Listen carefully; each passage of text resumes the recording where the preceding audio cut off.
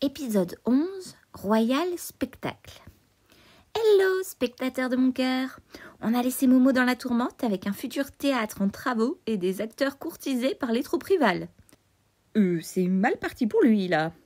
No stress Tout baigne C'est juste une petite pression pour te donner envie de lire la suite. Tu as vraiment cru que ces comédiens allaient le lâcher? Impossible Il l'adore non seulement il a le génie du théâtre, mais en plus il les dorlote comme un papa poule.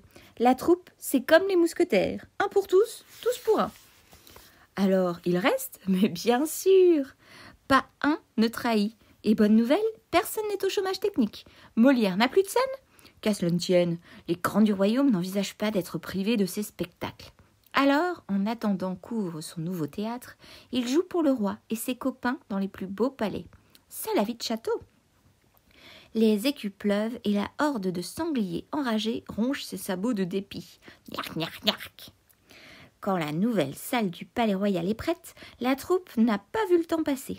C'est super joli, mais malgré les efforts de Ratabon, il y a toujours des fuites. C'est pas une fuite, c'est le déluge. Voyons le bon côté des choses, nous sommes ensemble. Alors, on a tendu une immense toile bleue au plafond et les spectateurs ont l'impression de se trouver sous un ciel d'azur. Comme quoi, les fuites, c'est romantique. La troupe inaugure son théâtre chéri le 20 janvier 1661 avec le dépit amoureux et Sganarelle ou le cocu imaginaire. Accueil triomphal, tout le monde est rassuré. Trop cool, m'a dit Romain quand il a su ça. C'est la gloire Momo s'envole vers l'infini et même au-delà. Euh, c'est pas Buzz l'éclair non plus, lui ai-je répondu. Des fois, il se plante. Pas souvent, mais. Allez, je te raconte. Un jour, Momo annonce qu'il travaille sur une nouvelle pièce. Ses compagnons pensent Cool, on va s'éclater dans une super comédie. Ils attendent le prochain chef-d'œuvre avec impatience. Le 4 février 1661, Momo est tout excité dans son habit brodé d'espagnol. Il joue la première de Dom Gracie de Navarre. Son unique et dernière tragédie. Ça m'a inspiré un slam de l'ennui. Hashtag énorme fiasco. Oh, c'est méchant. Mais non, c'est parce que j'aime quand il réussit. Slam de l'ennui, à dire d'une voix éteinte. C'est une histoire rasoir de prince jaloux. La pièce est en vers, héroïque et sérieuse. Personne ne la trouve à son goût. Le public baille à s'en décrocher les mâcheuses, en marmonnant quelle galère Dom Gracie est joué sept fois, puis disparaît. La tragédie et la plume de Molière sont brouillées à jamais. Voilà, il n'y a rien à ajouter. D'ailleurs, Momo ne déprime pas longtemps. Il comprend la leçon et écrit déjà autre chose pour monsieur, qui habite maintenant dans les appartements du Palais Royal. Ah oui, il faut que je te raconte les derniers événements politiques. Je sais, cette période est infernale, il y a toujours plein de changements. Je suis obligée de me renseigner de près car, tu l'as vu, ce qui se passe au sommet de l'État influence directement la carrière de Momo. Donc bref, le scoop, c'est que Mazarin a cassé sa pipe le 9 mars. Louis XIV se console vite de la mort de son tuteur et Premier ministre despotique. Il réunit son conseil pour le mettre au parfum. Maintenant, c'est moi le plus fort. Alors, aucun papier signé sans mon accord. Tous les matins, réunion et je prendrai seul les décisions. Des objections? Nicolas Fouquet, son ministre des Finances, ronchonne dans la dentelle de son jabot. Il se voyait bien à la place de Mazarin, lui. Mais il n'ose rien dire et c'est parti pour 54 années de règne du roi Soleil. L'une de ses premières actions, c'est de marier son frère à la ravissante Henriette d'Angleterre. Monsieur est amoureux d'un garçon, mais peu importe. Il faut assurer la descendance. Henriette devient madame. Hashtag abat les mariages arrangés. Je veux bien vous épouser, mais en échange, vous me laisserez porter vos belles robes Ok. Les jeunes mariés s'installent dans les appartements du palais royal et c'est comme ça que Momo devient leur plus proche voisin. Ça le motive à fond d'avoir la cour de son protecteur à domicile. Et c'est reparti pour un top succès avec sa nouvelle comédie, le 24 juin 1661, L'école des maris. Momo a retrouvé le personnage de Sganarelle, sa voix grinçante, ses mimiques et son large béret. C'est comme ça que son public l'adore. Je t'ai fait un petit schéma de la pièce. Sganarelle, tuteur pas sympa d'Isabelle. C'est le frère d'Ariste, tuteur sympa de Léonore. Isabelle et Léonore sont sœurs. Isabelle est la pupille de Sganarelle, elle est enfermée avec son tuteur, s'ennuie à mourir, tricote des bas, obligée de se coucher à l'heure des poules, alors que Léonore, sa sœur, est la pupille d'Ariste, libre de vivre sa vie, va au bal, au théâtre, euh, pas au ciné, hein, pas à l'époque, et elle s'habille à la mode. Pour Isabelle, le résultat, c'est qu'elle ne peut pas blairer Sganarelle, fugue et épouse Valère, un gars qu'elle connaît à peine, pour se libérer de son tuteur, et pour Léonore, le résultat, c'est qu'elle craque pour Ariste, qui lui offre tant de liberté. Elle se marie avec lui, même s'il a 20 ans de plus qu'elle. Sganarelle est hyper vénère, et Ariste, amoureux et content, dit à son frère que c'est sa faute si Isa s'est tirée, qu'il fallait être plus cool avec elle. La morale de la pièce, c'est pas en privant une femme de liberté qu'on va s'en faire aimer. Analyse psycho de base, Molière aurait écrit cette pièce pour envoyer un message clair à Armande. T'inquiète, si on se marie, tu pourras sortir et t'amuser. Je ne t'enfermerai pas. Armande était coquette et pas du genre à repriser des chaussettes toute la journée. Mon avis, euh, Armande, elle le connaissait, son Momo. Ils vivaient ensemble dans la troupe depuis des années. Elle devait bien se douter qu'il n'allait pas la séquestrer. En plus, tous ceux qui l'ont connu disaient qu'il était hyper respectueux, drôle et gentil. Les pièces de Momo n'étaient pas autobiographiques. Comme d'hab, la troupe est invitée à jouer pour des spectacles privés dans les palais autour de Paris. Et là, Momo rencontre Nicolas, alias Nico, Fouquet. On en a parlé tout à l'heure, c'est un type super important. Le surintendant des finances du roi, l'homme le plus riche de France, c'est un ambitieux, tendance arriviste. Élégant, cultivé, très intelligent, amateur d'art, mécène soupçonné de piquer dans les caisses de l'État, et pas qu'un peu.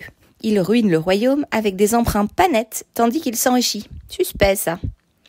Puisque c'est foutu pour le poste de Premier ministre depuis que Louis gouverne en solo, Nico fait son faillot. Il prépare une grande fête le 17 août en l'honneur du roi dans son domaine de Vaux-le-Vicomte. Pour l'occasion, il demande un spectacle inédit à Molière, qui est tout content. Il y a de quoi, c'est sa première commande de la cour. Et en plus, le château de Nico, c'est le plus beau. Je suis allée le visiter avec ma famille l'année dernière. Il est magnifique et gigantesque. On a rasé trois villages pour le construire. Il y avait 18 000 ouvriers et c'est André le Nôtre, jardinier du roi, qui a dessiné les jardins à la française. Il reste 15 jours pour préparer la pièce commandée par Fouquet. N'importe qui abandonnerait. Pas lui. Au boulot, Momo. 1. Il écrit son spectacle à toute allure. Rapidité du génie, vitesse de la lumière. 2. Il monte sa mise en scène encore plus vite. 3. Il commande ses décors à deux gars extra embauchés par Nico, les enchanteurs. Charles Lebrun, premier peintre du roi, et Giacomo Torelli, meilleur machiniste de l'époque. 4. Ces comédiens activent leurs neurones au maximum et apprennent leur texte en trois jours. Le 15 août, la troupe débarque fin prête chez Nico, où c'est l'effervescence. On attend plus de 1000 invités. Le 17 août, le roi arrive en grande pompe. Sans jet d'eau l'accueille dans le parc et en bas de l'allée des sapins, il découvre le splendide théâtre de verdure où va être donné le spectacle de Momo. Quand j'ai raconté ça à ma classe, tout le monde s'y voyait. C'est génial, s'exclame Mehdi. J'imagine à fond les rideaux rouges remplacés par des plantes grimpantes. Mademoiselle Perlin a rigolé. Ça devait être à peu près ça. Son ami Jean de La Fontaine était là. Écoutez ce qu'il a écrit sur ses super décors. De feuillage touffu, la scène était parée et de cent flambeaux éclairés. C'est émouvant, je trouve. Momo n'a encore jamais monté de spectacle aussi féerique.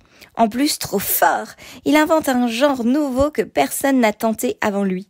La comédie ballet, alternant dialogue de scène et intermède dansés, chantés et joués sur la musique des violons du roi, avec Samuel Masuel, son oncle musicien. Allez, ambiance! Les trois coups résonnent, Molière arrive, pâle, maladroit, pas maquillé. Il fait semblant d'être intimidé, s'excuse par avance de cette pièce trop vite écrite qu'il a appelée Les Fâcheux. Et soudain, le spectacle commence. Là, il faut que tu imagines la scène, éclaboussée de cascades cristallines, avec au centre un rocher ruisselant qui se fend, devient coquillage et s'ouvre sur une nymphe éblouissante, Madeleine. Tu te rends compte? Tout ça en live, en 1661, et sans lunettes 3D.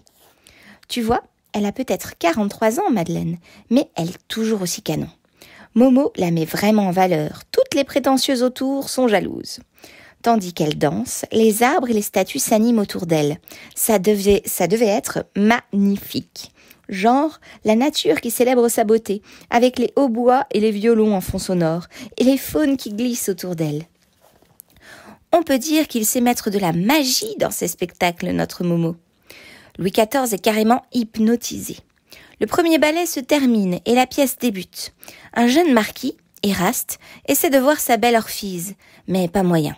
Faut tout le temps que, des fâcheux, c'est-à-dire des casse-pieds, se pointent pour empêcher les amoureux de se rejoindre. Il y en a huit et Molière les interprète tous. Il se métamorphose, transforme sa voix, et les spectateurs n'en reviennent pas. Ces fameux fâcheux, ils les reconnaissent. Momo les imite tellement bien. Il a fait la caricature des courtisans, des hommes de la plus haute noblesse que tous envient à la cour. Quel culot! Quel génie! Le jeu de Momo est tellement drôle et époustouflant, les danseurs tellement joyeux et insolents que le roi est subjugué, ainsi que toute l'assemblée. Il y a de quoi. Le spectacle est incroyable. Et il est à peine terminé qu'un feu d'artifice explose en bouquet au son des trompettes des mousquetaires du roi. Je ne te raconte pas l'apothéose. Grandiose. Waouh Tu peux le dire, c'est fou. Molière a écrit la plus magique et la plus délirante des pièces sur un sujet complètement improbable. Et le roi, au lieu de le regarder de travers parce qu'il se moque de la cour, sourit en douce et lui chuchote Voilà, monsieur Molière, un grand original que vous n'avez point encore copié. En même temps, il lui désigne un homme du menton, le marquis de Soyecourt. Évidemment, son nom ne te dit rien, à moi non plus d'ailleurs. Eh bien, figure-toi que c'est le courtisan le plus magnifique, le plus distingué de tous, le grand veneur, l'officier chargé des chasses royales, bref, l'un des nobles les plus importants du royaume. C'est plus qu'une suggestion de Sa Majesté. Momo obéit. Il ajoute un autre fâcheux, Dorante, copie conforme et hilarante du grand veneur. Ce personnage amuse toute la cour, car si le roi rit, pas très sympa ça. C'est vrai, en même temps, les courtisans exagèrent, tu ne les supporterais pas. Ils en font des tonnes pour flatter le roi. Ils sont collants, faux insupportables, fâcheux. Il y a quelque chose qui nous dépasse complètement aujourd'hui. C'est l'opinion que le souverain a de lui-même. Depuis qu'il est né, on lui répète qu'il tient son pouvoir de Dieu, qu'il est différent et sacré, au-dessus des humains. Je ne te dis pas la grosse tête qu'il a. En tout cas, il est peut-être mégalomane, mais il ne supporte pas la flatterie. Il méprise les courtisans qui trottinent à ses pieds comme des blattes à fanfreluche. Mais il ne peut pas leur dire because. Étiquette royale, le roi doit être un protecteur pour ses sujets. Louis a un caractère assez secret. Louis est poli. C'est plus fort que lui. Il reste toujours super aimable avec tout le monde, même avec les gens saoulants. Je ne sais pas comment il se modère, parce que moi, quand on me cherche, eh bien je en fait, je ne dis rien. J'ai le swag royal. En fait, grâce à ces pièces, Momo se permet de dire tout haut ce que le roi pense tout bas. C'est exactement ça, Romain, et ça lui plaît, à Louis. Par contre, il y en a un qui le branche moins, c'est Nicolas Fouquet. Il s'y est trop cru avec sa réception. Il a complètement zappé que le roi a le souvenir de la fronde tatouée dans le cortex cérébral et ne supporte pas ceux qui se la jouent plus puissants que lui. Il va le payer très cher. Louis XIV le fait arrêter par D'Artagnan, lui confisque tous ses biens, lui colle le procès du siècle et l'emprisonne à vie sans sortie ni visite. Nico mourra dans sa cellule 15 ans après, sans avoir revu sa famille ni le bleu du ciel. Tout ça pour avoir organisé une fête. Oui, en gros, même si le roi l'avait déjà sérieusement à l'œil avant, à cause de ses magouilles financières et militaires. C'est dur, hein Le roi rapatrie chez lui son peintre, son jardinier, ses artistes, et Momo, en lui disant qu'ils sont avant tout à son service, à lui, compris Là-dessus, il lance les premiers travaux à Versailles. Il veut le plus beau château du monde. Vous le vicomte? On oublie. D'ailleurs, la terrible affaire Fouquet passe vite à la trappe. C'est la fête dans tout le pays, les cloches carillonnent. Carnet Rose, le 1er novembre 1661, est né à Fontainebleau un héritier de la couronne, Louis de France, dauphin du roi. La prochaine fois, on parlera tadam mariage, mais embrouille aussi.